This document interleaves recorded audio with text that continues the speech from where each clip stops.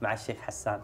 كيف حالك يا شيخ حسان؟ الحمد لله بخير. طيب إن شاء الله. إن شاء الله. نحن لما نقول كلمة متميز أنه في حياته مع القرآن فعلا شيء متميز. الحمد لله. كيف كانت بدايتك مع القرآن؟ ويسمعونك المشاهدين يا شيخ حسان.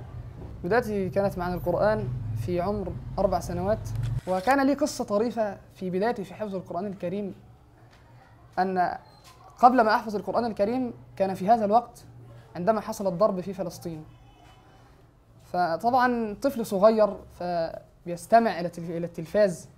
فشاهدت الأحداث فجئت في وقت من الأوقات إلى أبي وقلت له يا أبي إني أرى في منامي أني أحارب جيش العدو وهو إسرائيل وأقتلهم ولكني لا أرى السلاح في يدي. فرأيت هذه الرؤيا مرة ثم الثانية ثم الثالثة.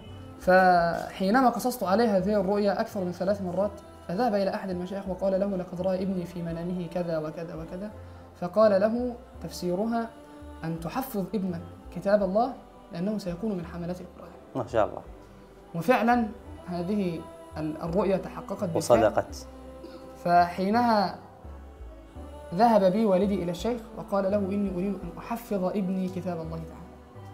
فبعد ذلك ابتدأت مع الشيخ خطوة واحدة.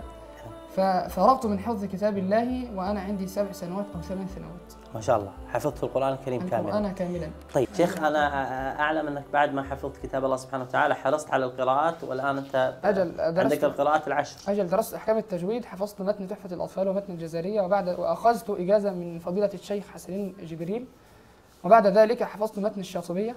نعم. ومتن الدرة ومتن الطيبة فأنا معي سند في القراءات العشر الصغرى والآن آخذ في القراءات العشر ما الكبرى شاء الله تبارك الرحمن تبارك الرحمن. يعني أسأل الله سبحانه وتعالى أن يزيدك من هذا العلم. آمين. وأفضل العلوم هو علوم القرآن. هذا صحيح. وسنبدأ الاختبار الآن يا شيخ حسان. الله يبارك فيك. الله يبارك فيك يا رب. وإذا لقوا الذين آمنوا قالوا آمنا.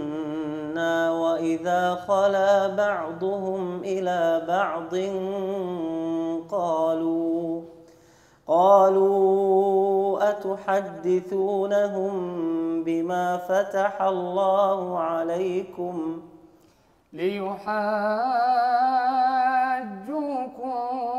به عند ربكم أفلا تعقلون أولا يعلمون أن الله يعلم ما يسرون وما يعلنون.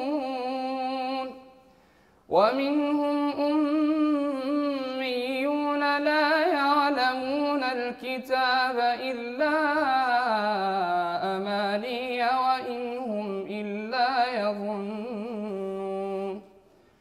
فويل للذين يكتبون الكتاب بأيديهم ثم يقولون هذا من عند الله. ثم يقولون هذا من عند الله ليشتروا به ثمنا قليلا. فويل لهم مما كتبت أيديهم وويل لهم مما يكسبون. ما شاء الله. اشترك معنا في هذه القناة بإذن الله راح توصل لك حلقاتنا أول بأول وساهم معنا في نشر هذه القناة.